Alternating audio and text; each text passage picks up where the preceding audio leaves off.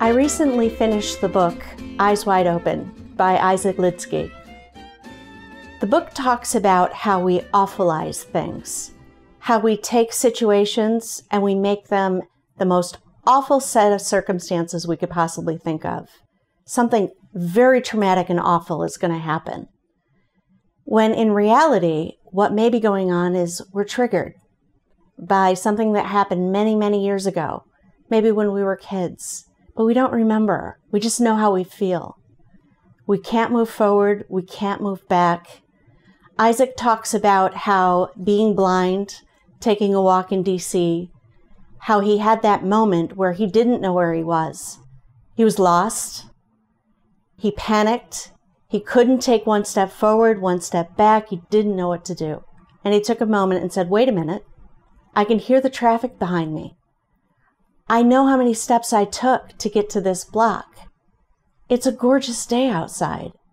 Why don't I enjoy the sunshine for a minute and see where this takes me?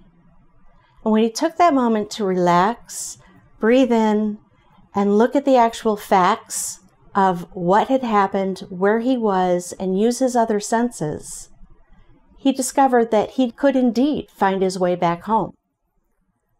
I know I've come across those situations myself. Something fearful happens. Terrified, I can't make a decision, I can't move forward.